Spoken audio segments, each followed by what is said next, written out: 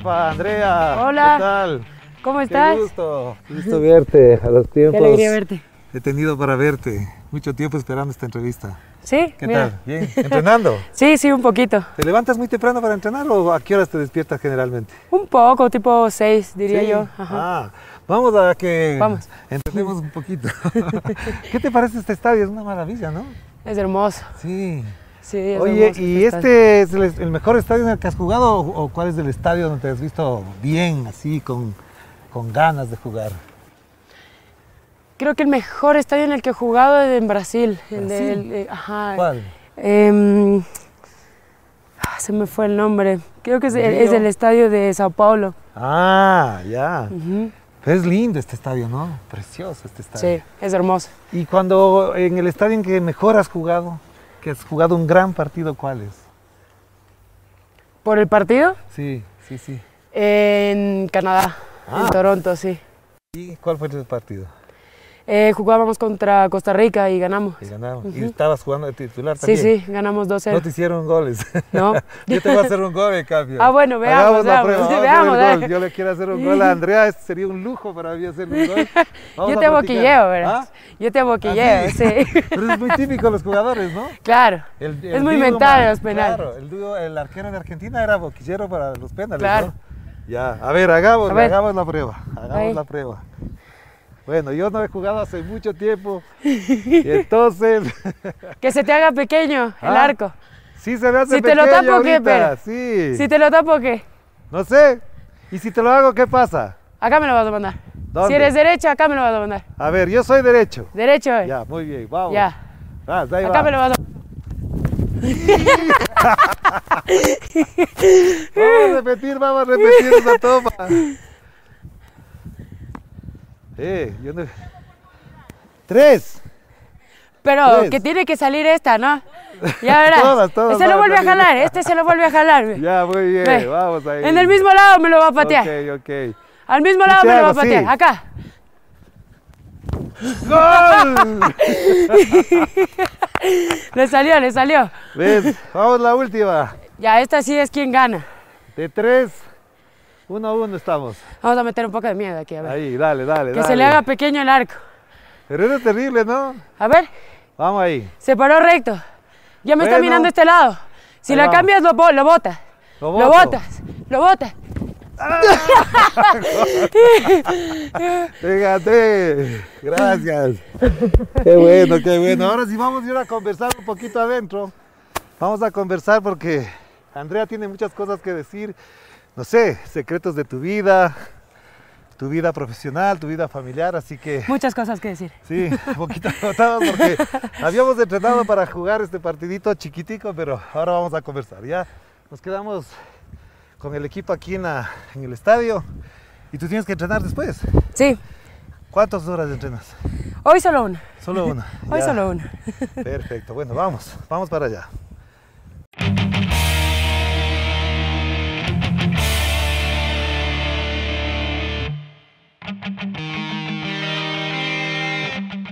Bueno, ya hemos venido de la cancha del Independiente, estamos aquí en la sede, hemos conversado, hemos practicado un poco de fútbol con Andrea. Qué gusto tenerte, Andrea. ¿Cómo estás?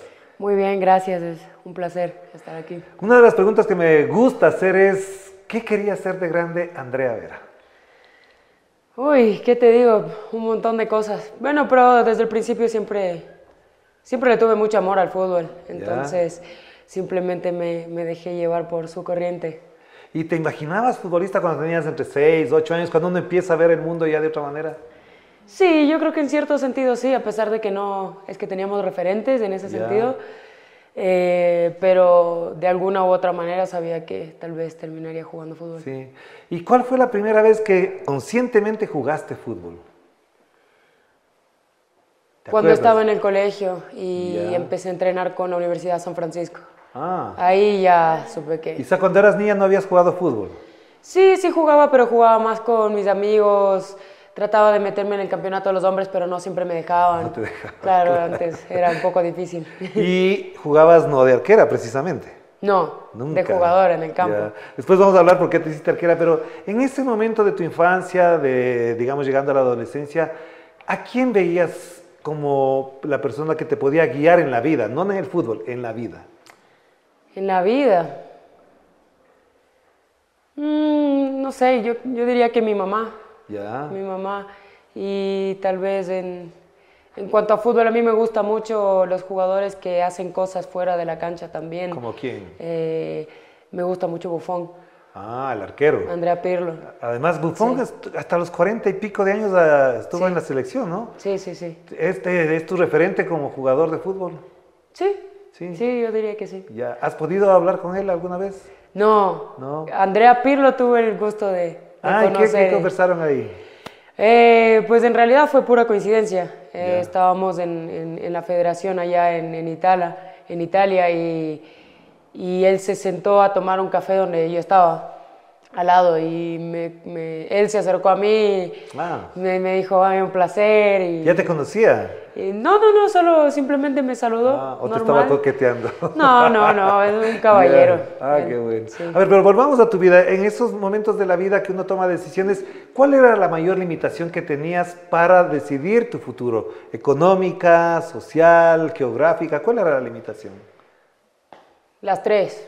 Eh, yo creo que tal vez si hubieses tenido esos eh, objetivos en otro país más, eh, tal vez desarrollado con menos estructuras, no seríamos tan limitadas en cuanto a nuestro futuro. Eh, fue, fue un verdadero, mm, ¿cómo, cómo te puedo? No, no obstáculo, es un, un reto bastante grande aceptar y irme en contra de un montón de cosas para, para poder seguir haciendo, haciendo lo que amo. Claro, pero ser futbolista además en la época cuando eras niña no era como una de las cosas más eh, admiradas en ese momento de las mujeres, ¿verdad? No, no, para nada. Y, y siendo así, ¿qué querías, qué podías hacer entonces en ese momento? Pues me gustaba mucho la arquitectura, eh, el diseño, tal vez eh, bueno por mi papá, pero siempre me interesó bastante el cuerpo humano, ¿no? Su fisiología. Eh. La anatomía. los- ajá, la anatomía, los deportistas, cómo Sí. funciona, eso me, me llamaba bastante la atención. ¿Y con tus familiares, parientes, hermanos, primos, cómo era la relación? ¿Eras peleona con ellos o no? Sí, sí, sí, eso toda la vida. Mis compañeras tal vez se, se van a reír cuando vean esto. ¿Por qué? ¿Qué- ¿Cuál es la anécdota más trascendente que tienes o la que te refieren siempre?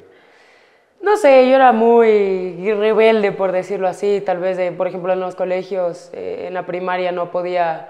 Las mujeres era gimnasia, gimnasia rítmica y los hombres a deportes de contacto, Claro, fútbol, básquet, vóley, claro. eh, tal vez un poco. Y, y yo me fugaba. eh, ¿Y tu o me relación, encerraba en con, el baño. la- tu relación con tus padres cómo era? ¿Amena, cordial o eras inquieta y te castigaban, te reprendían o no? Sí, a veces, pero, pero en realidad siempre tuve una, una buena relación. Eh, aceptaban mucho, me daban mucho espacio en cuanto al deporte, al Ya. fútbol. ¿Y te recuerdas qué es lo más que te entretenía en esa época de niñez, antes de entrar a la adolescencia? ¿La televisión, los juegos, libros, qué? El fútbol. Siempre fútbol. Sí, sí, sí. O sea, ¿Y yo veías tenía- muchos partidos? No, no mucho. En realidad solo era pelota, ir a buscar a los amigos, que te Ya. timbren en ese momento. No era de teléfonos. Claro. Eh, sal a jugar. Eh, sí, el fútbol, totalmente. ¿Y te acuerdas cuál fue el primer mundial que recuerdas así muy profundamente, el mundial de fútbol? Cuando clasificamos al Mundial. En el con 2002. Caviedes, Sí. ¿Te acuerdas Sí, de ese sí. gol? Sí, claro que sí. Pues sea- estábamos con mi familia, amigos, salimos a las calles y... Tenías y- nueve años en ese Ajá. momento, claro. Ajá, y eso en, ¿En dónde Ecuador estabas de eso? ¿Dónde viste ese partido? En Quito. ¿En dónde? ¿En tu casa? Sí. No, estamos por el Pinar Alto, Ah, por ahí. ya. Y salimos a las calles y era una locura, si tú te acuerdas, todo el mundo estaba en la calle con ollas, banderas, Claro, era una claro, fiesta. Claro, claro. Yo, yo me acuerdo de una cosa muy importante y la quiero contar, es que yo trabajaba en el diario Hoy y en esos momentos que ganaba, que clasificaba por primera vez en el mundo, se nos ocurrió con Diego Cornejo, que era el editor general en ese momento, hacer una edición especial yo cogí los periódicos y fuimos al estadio a vender los periódicos que sacamos, que imprimimos con la foto de Caviedes metiendo el cabezazo ahí. Muy, muy emocionante ese momento. Sí, y en ese momento, por ejemplo, ¿qué hubieses hecho de arquera con un cabezazo de Caviedes? ¿Cómo habrías reaccionado ahí? Imposible Ya- tapar ese gol. Ya casi imposible. No era posible imagínate. tapar ese gol de Caviedes. Mm, Puede ser, ¿no? Eh, pero son acciones de juego muy rápidas. Ya. Eh, y también Caviedes era un jugador muy bueno. ¿Y de arqueros del Ecuador a quién admiras? Pancho Ceballos, Ah, porque, la Libertadores. ah, porque ganó la Copa, Sí. claro, claro, claro que sí. ¿Y de mujeres arqueras? Eh, cuando yo empecé a ser arquera me motivé mucho con Hope Solo, que era en ese entonces la mejor arquera en el mundo. ¿Estadounidenses? Sí, Estadounidense, ya. sí, entonces me acuerdo que vi uno de sus videos antes de mi primer entrenamiento como portera Ya. y me, me inspiró bastante. Ella decía que la presión es lo que nos hace, Claro. ¿no? el trabajar bajo presión y cómo manejas tú todo eso. Ahora, Andrea, tú estuviste como la eh, jugadora de fútbol femenino clasificada al Mundial con Vanessa Arauz. ¿Qué piensas de ella? Era una joven, eh, digamos, menudita, pequeñita, como lo quieran llamar, y no parecía una entrenadora de fútbol. No, en realidad la, la confundían mucho con como si fuese una jugadora. Claro. Eh, definitivamente un reto súper importante para ella. Eh, imagínate, con 25 años. Claro, era eh, jovencita. sí. clasificar a un mundial y, y- y también, ¿no? Eh, soportar la presión de- de- de tantas cosas, de cuál es la alineación correcta, cómo vamos a jugar, a quién escucho, a quién no. Eh, porque es una edad en la que todavía sigues experimentando. Claro. Pero ¿cómo era el trato con ella? Porque prácticamente eran como de la misma edad, parecían de la misma edad, sí. Muy humanista, muy humanista Vanessa. eh, nos conocía a todas, a mí sabía mis fortalezas, mis debilidades. eh, me aportó mucho mentalmente también. Y, y bueno, fue una, una entrenadora que me motivó bastante también. ¿Y cómo sientes que has pasado a la historia? Estás viva, eres parte de la historia y mucha gente recordará muchos años después que Andrea Vera con Vanessa Arauz y muchas jugadoras más fueron las primeras clasificadas al Mundial, incluso mucho más rápido que la selección masculina. ¿Cómo se siente eso? Es, eh, es algo maravilloso, es, es hermoso. eh, las sensaciones que te puede dar el fútbol o, o el área en el que tú te desempeñes, eh, esa pasión es, eh, es esencial, ¿no? Y, Claro. bueno, es- para mí es más, más importante que las cosas materiales, son sensaciones que, que te llevas a- al ataúd. Claro. Si tuvieses nietos, digamos que tienes nietos 30 años después, ¿cómo le contarías a tu nieto, a tu nieta, si tuvieses, le dirías cómo fue esa clasificación? Cuando nosotros fuimos, eh, antes de nadie creía en nosotros. Eh, nuestro propio país nos decía que nos iban a meter cuatro goles allá y en realidad fue pura garra, como decimos nosotros. Sabíamos que el fútbol femenino dependía de ese partido, de esos 90 minutos. Entonces teníamos eh, algo bastante eh, importante en las manos, en los hombros, el, el poder darle un, un mundial al Ecuador porque creo que fue un cambio de 360 grados. Claro, de determinante para el fútbol femenino ecuatoriano, porque además, te cuento, yo iba a los partidos del Estadio Olímpico, cuando clasificaron ustedes al Mundial, no había gente, el estadio estaba vacío. Sí. Y a veces algunas personas iban a ver a la selección de Brasil y no a la selección de Ecuador. O sea, ¿cómo sentir eso de que en ese momento no era nadie, nadie les llamaba la atención, no había ruido? ¿Cómo sentían eso ustedes? Y trabajo en silencio. Eh, nosotras sabíamos que no iba a ser fácil, no iba a ser sencillo ganar hinchada, ganar respeto. Eh, sabemos que en realidad todo se ve en la cancha. En lo que hagas en la cancha es una responsabilidad para nosotros también ofrecer un buen espectáculo. No podemos pedir favores, por decirlo así. Y todavía seguimos en ese trabajo, en esa lucha constante de trabajar, de, de- de ganar hinchada, de ganar auspicios, de ganar la mirada de la empresa privada que ya está invirtiendo. por ¿no? fin. Independiente es un Claro, ejemplo de claro. eso. Pero yo te pregunto esto porque ir a un partido de la selección ecuatoriana de fútbol, puede ser de la sub-17, de la sub-20 o de la de mayores, si es varón está lleno el estadio. Sí. De ustedes no iban. Entonces, ¿ustedes cómo han visto eso? ¿Han conversado con jugadores hombres que les digan qué hacemos para apoyarles? ¿Han conversado sobre eso? Sí, en su momento, bueno, creo que Antonio Valencia, en el Valencia, eh, Hernán Galíndez también eh, nos apoya mucho en ese aspecto, pero el- en- en- en gran parte los responsables de esto son los que están a cargo de, de la comunicación, De, de, la gestión, ¿no? Porque tú puedes ofrecer tal vez un buen espectáculo, pero si no tienes a alguien que proponga proyectos, que venda el producto, entonces eh, seguiremos con los estadios sin, sin, llenarse. Claro. Mis hijas que asistieron a esos partidos me decían, pero ¿por qué no viene la gente? Y yo les decía, no sé por qué. Me decían, pero si son las seleccionadas de fútbol del Ecuador, son las campeonas, etcétera. Eso, por ejemplo, ¿cómo cambia la mentalidad de las niñas que ahora quieren ser jugadoras de fútbol? Ahora tú ves un montón de niñas ya comprándose pupos, ya... Se meten en los partidos de los hombres a jugar, sí, duro. nos conocen también. Claro, claro. Entonces, eh, se siente bastante bien eh, poder ser el referente o, o, que una niña vea, vea físicamente eh, las cosas que puede lograr y que logrará después, ¿no? Andrea, la pregunta clave es aquí, ¿por qué a las mujeres se les paga menos que a los hombres en el fútbol? Sé que incluso cuando clasificaron al Mundial, me confirmará si es cierto o no, les pagaron mil dólares por el premio, cuando a los jugadores, cuando clasificaron por primera vez, me acuerdo clarísimo, les dieron 10 mil dólares en el 2002. Ustedes hace pocos años recibieron mil. Claro. Y algunas dicen que no recibieron incluso. Sí, la verdad, eh, hay dos temas aquí. ¿no? Primero es eh, la desigualdad en en pago, en oportunidades por el género, por ser mujer, no solamente en el deporte, sino en muchas áreas, por el mismo trabajo.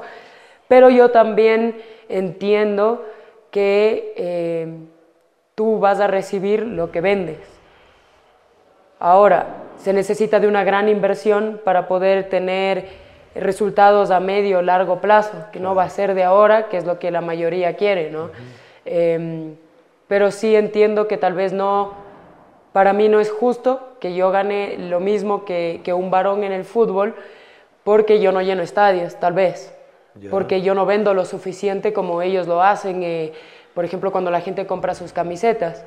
Pero también hago responsables a las personas que podrían impulsar eso, ¿no? Podrían impulsar la imagen de la mujer como una mujer fuerte, como una mujer deportista, una mujer con músculos, no el, siempre prototipo que quieren todavía vender las marcas ahora de, ah, mira, ella es una mujer deportista, delicada, eh, esta es su imagen y entonces proyectas la imagen de una mujer eh, femenina, ¿no? Delgada. Como débil. Ajá, prototipo. Entonces, eh, las cosas han cambiado, es un constante cambio y creo que la publicidad en nuestro país tiene que cambiar. ¿Ustedes conversan entre mujeres futbolistas sobre estos temas de que los pagos son menores respecto de los hombres? Claro. ¿Conversan con los hombres que ganan más? ¿Cómo se sienten en ese aspecto? ¿Cómo conversan? ¿De qué, qué se plantean frente a eso? ¿Qué nos gustaría ganar así? ¿Sabes? Como hombre, a veces eh, tú fichaste para un club y ya lo tienes todo. Mm. Eh, imagínate, por ejemplo, uno de, un jugador que sea ahorita, por ejemplo, Kendry Páez, vendido por millones al Chelsea, tiene la vida 16 años, claro. En cambio, nosotras eh, tuvimos que poner de nuestro bolsillo para seguir un mm. proceso. Em, vemos, por ejemplo, los hombres entran en sus carros, las mujeres no. Eh, los hombres tienen sus casas, su familia, le dan la casa a la mamá. Y además con 25, eh, 30 años. Claro. Messi tiene 37, si no me equivoco, va a cumplir 37 y podría dejar la plata para cinco generaciones y no pasa absolutamente por nada. Por supuesto. Y otro tema que me gustaría también que lo comunicaras, lo contaras, incluso cuando tú fuiste a Estados Unidos, se demoraron la visa a cambio de los jugadores, en cambio van y le sacan la visa prácticamente inmediatamente, solamente porque eran jugadoras mujeres. Sí, sí, ahí pues hay menos reconocimiento. No, es ¿Eso ha mejorado o no? Sí. Ya es mejor que lo que pasaste Sí, yo creo que es bastante mejor. ¿Y tu experiencia en Estados Unidos cómo la valoras? ¿Cómo la refieres ahora después de, de acá pasar algún tiempo ya? El viajar, el salir del país, sobre todo del, del, de, Sudamérica, me, me abrió la cabeza bastante de cómo son las cosas. De, me di cuenta más aún de de que todavía estamos muy estructurados. Es, eh, lamentablemente, yo amo mi país con todo mi corazón, soy eh, orgullosa de ser ecuatoriana, pero sí es lamentable que todavía somos un país machista. Pero Estados Unidos también es machista. Sí, pero no tanto. Claro, yo entiendo, pero menos de Europa. También estuviste en Europa. Sí. Esa experiencia, por ejemplo, comparando entre Ecuador, Estados Unidos y Europa, ¿dónde está el cambio? ¿Dónde crees que hay una perspectiva de que nosotros podamos ser mejores que los europeos o mejores que los estadounidenses? El marketing. El marketing, ¿cómo, ¿cómo, lo manejas? Eh, mira una propaganda de Nike que saca Estados Unidos. Ecuador tiene la plata, tiene el talento, tiene los recursos para hacer comerciales de así. Lo que hace falta es que la gente que esté a cargo de esas posiciones sea gente eh, innovadora, gente con proyección al futuro, eh, con menos estructuras, gente más inclusiva. Ya. Y en cuanto a la experiencia europea, ¿crees que ahí efectivamente hay mejor entendimiento de la igualdad de género? Sí. Porque yo he visto, por ejemplo, las jugadoras, la final Barcelona-Real Madrid, digamos, de, el estadio está lleno, la gente va, van muchas mujeres a ver. Sí. Aquí no ocurre eso, pero ¿cómo valoras esa experiencia europea? Eh, pues en realidad también es, es, lo que te digo, es el, el, movimiento, la visibilidad que se les da a las jugadoras. Tú vas al estadio del Valencia y hay una imagen gigante de una jugadora. Vas a Nike, encuentras a una jugadora, jugadora de fútbol. Les reconocen en la calle, además de tienen autógrafos. Aquí no están muy, claro. muy visibilizadas. Entonces, ajá, tiene mucho que ver porque estamos en una época en la que eh, todos son redes sociales. Estás viendo, ves el producto, ves una Coca-Cola, ¿qué ves en la Coca-Cola? Entonces, cuando, por ejemplo, en Ecuador han puesto la imagen de una mujer en una botella de Coca-Cola, en una botella de Pilsener y en los mismos productos ecuatorianos de exportación no se ponen el cacao, el chocolate, en el banano. No quiero dejar de mencionar una cosa. ¿Cómo valoras tu experiencia por las ñañas? El equipo, ¿cómo lo ves? Tu rol ahí dentro del equipo. El hecho de que sean, quizás, no sé si me equivoco, pero no sé mucho de la parte técnica, pero el, el equipo más técnico del, del, campeonato femenino de fútbol.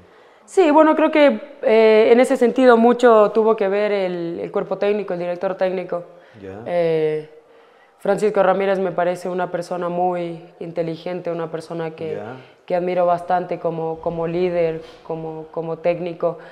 Y también eh, admiro mucho el labor que hace un club como Ñañas. No es sencillo tener auspicios y, y, poder, y, poder trabajar con los costos que tiene un club, ¿no? que son bastante grandes, pero es un, es un ejemplo para muchos clubes de que se trata de gestión, que se trata de trabajar, de, de, ver más allá, de tener visión, de crear, no querer tal vez siempre cambiar las cosas, hay que crear para que la gente, para invitar a la gente a, tal vez a consumir eso. Y mira, Ñañas tiene hinchada, eh, quedamos campeonas. Eh, y bueno, tengo muy, muchos, muchos recuerdos. Hermosos. Tú eres muy competitiva, te gusta la competencia. Y cuando estás en la banca y quieres entrar a la cancha, ¿qué sientes? Me como los dedos. es, es, peor estar en la banca. Y dices, yo habría hecho mejor ese papel ese rato. No, no, no. En ese sentido no, no juzgo mucho a las porteras porque es una, es una posición bastante complicada, bastante mental. Ingrata eh, además, porque puede no meterle un gol, pero el día que le mete un gol se le acabó la carrera. Ajá, si hayas hecho el partido. Con lo que le pasó al arquero del Independiente frente al Nacho, que estaban 3 a 3 Minuto 92, le mete un puñete y se acabó el partido para el Independiente. Sí, sí, sí, sí son, son detalles. Claro. Ahora, yo te pregunto una cosa. Te preguntaba esto de ser competitiva. ¿Tú te plantearías ser de directora técnica, entrenadora de fútbol de las mujeres? No, tal vez directora técnica no. Estaría tal vez trabajando en el área eh, de preparación física o, médica, en la de readaptación o preparación de, porteras. O en la gestión deportiva, que me gusta bastante. Ya, esa es una pregunta que me quedaba pendiente. ¿Qué implicaría gestión deportiva? Todo esto que hablan de la industria del deporte, ¿cómo valoras? Ahí se mueven millones de plata. ¿Crees que efectivamente hay posibilidades ahí? ¿Tú te ves en ese campo? Sí, claro. ¿Qué harías ahí, por ejemplo, por este país? En realidad depende mucho de la red en la que estés, eh, los contactos que tengas la educación que tengas. Eh, yo creo que es bastante importante tener el conocimiento necesario para poder eh, elaborar un, un, buen proyecto a futuro, ¿no? Eh, un proyecto sustentable, por decirlo así. Em, creo que Ecuador tiene todas las posibilidades de, de poder hacerlo, tiene gente que piensa diferente, tiene empresas que piensan diferente y quieren invertir en, en cosas como esta, lo que hace falta es eh, presentar un buen proyecto. Porque ¿Te, si va... ¿Te propondrías hacer una empresa de fútbol? ¿Te, te propondrías hacer eso? Eh, Una me- empresa deportiva, digamos, en general. Sí, tal vez me propondría aliarme con personas que ya están, ya han trabajado en el campo, con personas interesadas que también tienen toda, toda su red eh, y poder juntos hacer un proyecto. Yo creo que juntos eh, se trabaja mejor. ¿Y te ves de madre? Sí, en un futuro, después del fútbol. Porque buena parte de las mujeres, digamos, de, de las nuevas generaciones, 30 para abajo, por decirlo, tú tienes 30 ahora, Sí. muchas no se plantean ser madre, dicen, no es mi opción a cambiar esa perspectiva, Sí. porque buena parte de la sociedad conservadora decía que para ser mujer tenía que ser madre. Claro. ¿Tú te ves también así? A pesar de que antes decía que no. Ah, es de ¿en entre el anterior año y este que, que, que me lo he replanteado y, y- y tal vez sí, sí, porque quisiera eh, criar a mis hijos y a mis hijas ¿no? con, con- Sí, sí te planteas. una buena mentalidad, ¿Y el sí. matrimonio cómo lo ves? ¿Es una buena institución? ¿Qué te limitaría? ¿Qué te ayudaría? Es político, pero todos somos parte de esto. ¿Estás enamorada ahora? Sí, un poquito nomás. Bueno, pero dices que estás bien enamorada. ¿Eso cómo influye? Más allá del asunto privado, que eso no me, no me compete, por supuesto, ¿cómo influye en el comportamiento eh, eh, deportivo el estar enamorado? ¿Qué estimula eso? Yo creo que en la vida todo lo que haces es un, es un balance de, de las cosas que te pasan. Yo creo que eh, viene la parte mental, viene la parte bastante técnica, profesional, el amor. eh, si uno sabe manejar las cosas bien, entonces eh, puedes estar en tu, tal vez en tu punto Te digo máximo. esto porque a veces muchos jugadores, y efectivamente es así, le vi hace poco a, a Carrillo, el jugador de Nacional, soy del Nacho por si acaso, así que hay una, una afiliación ahí. le vi que él hacía el corazoncito cuando metía un gol y obviamente no sabía que estaba la mujer embarazada, estaba enamorada, después de oír sus conversaciones. Y ese factor es muy importante, uno juega mejor cuando está enamorado o cuando está desamorado juega peor. Sí, yo creo que si te rompen el corazón, como uno dice, Claro. eh, estás desmotivado, es un Claro. bajón. ¿Cómo procesas los bajones, por ejemplo, ya jugando? ¿Cómo los procesas? Bueno, es, puede ser acompañamiento psicológico también, autodiálogo, eh, tratar de ser lo más profesional posible. Somos seres humanos igual, Ya. eh, pero, pero todo está en, en la fortaleza mental que tengas también. Tengo dos preguntas finales entonces, Andrea, porque hemos, como hemos venido caminando, corriendo, tenemos que tomarnos un poquito de agua. Si te preguntaba la- una cosa, si tú como futbolista has hecho una labor de esta naturaleza, ¿cómo crees que debe ser nuestra sociedad? ¿Qué le dirías? Si yo soy un ejemplo, ¿cómo quisiera que sea la sociedad ecuatoriana frente a los problemas que tenemos, las angustias que pasamos? ¿Crees que efectivamente el valor, la actitud que tienen los futbolistas se puede trasladar también a la actitud social? ¿Cómo valoras esa, esa reflexión? Sí, claro que sí, el fútbol es una herramienta gigantesca para la sociedad. Eh, el fútbol mueve muchísimas cosas. eh, Pasiones enormes. Sí, el, eh, tal vez estás peleado con alguien o de- de- elimina el racismo, ¿no? O sea, obviamente Ajá. se dan casos, pero el fútbol es una de las maneras nobles eh, de, de poner junta a la gente, de, de- de tal vez unir a un país. Eh, Te pongo, por ejemplo, a Argentina cuando ganó el Mundial y Claro. Arge- Argentina estaba en crisis económica. Claro. Y mira lo que el fútbol puede llegar a hacer, levantar una sociedad eh, por el simple hecho de que Argentina clasificó un mundial, cuánta gente salió a, la- a- a las calles a vender camisetas, cuánta gente se abrazó en las calles, cuánta Claro, gente dejó de lado todo. Sí, sí. Te preguntaba esto por una pregunta que estaba enganchada. Maradona. Sé que eres admiradora de Maradona. Maradona para mí es mi ídolo. Tuve la oportunidad de conocerlo y siempre será, me saca lágrimas recordarlo, verlo. Y él, más allá del fútbol, se constituyó en un símbolo mundial de contra la injusticia, contra la injusticia en el fútbol. Por ejemplo, él se peleó contra, sí, se peleó Contra contra, la. FIFA y demás. Era un tipo considerado rebelde, etcétera. Pero en ti, ¿qué significa eso? ¿Qué tipo de mensaje te da Maradona todos los días cuando juegas? Uno tiene que estar orgulloso de sus raíces, no olvidarse de dónde viene, defender a muerte los valores a su gente. Eh, ah, pues, como, como sudamericanos, nosotros también tenemos esa pequeña como, como rebeldía ¿no? ante la injusticia eh, y creo que el fútbol es un canal para, para poder combatir este tipo de cosas. Claro. Y si le verías a Maradona, ¿qué le dirías ahora? ¿Qué le dirías frente a frente? Yo me quedé mudo cuando lo vi, te juro, me quedé Sí, mudo. me imagino. me lo imagino, solo de imaginármelo me quedo muda también. Claro, Pero ¿qué le dirías si tuvieras chance de decirle algo, de mandarle algún mensaje? ¿Qué le dirías a Maradona? Em, que gracias, gracias por habernos dado tanto fútbol, eh, por ser un ejemplo de, de orgullo por su país y bueno, también que, que, no, que, que no lo juzgo. Claro, fue lo más grande del fútbol. Una última pregunta, entonces, ¿a quién le confiesas tus secretos? A Gigi. ¿Quién es Gigi? Gigi es la capitana de la selección. ¿Ah, sí? Sí, Bueno. sí, es mi mejor amiga. ¿Y a quién no le contarías ni uno de tus secretos? A mi mamá.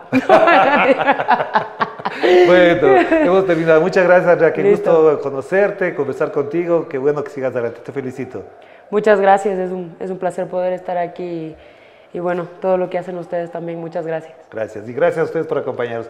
Andrea Vera, una de las personas que obviamente tendremos que tenerla presente porque no solamente es jugadora. Miren, ustedes han escuchado cosas muy importantes de ella. Volveremos entonces por este espacio.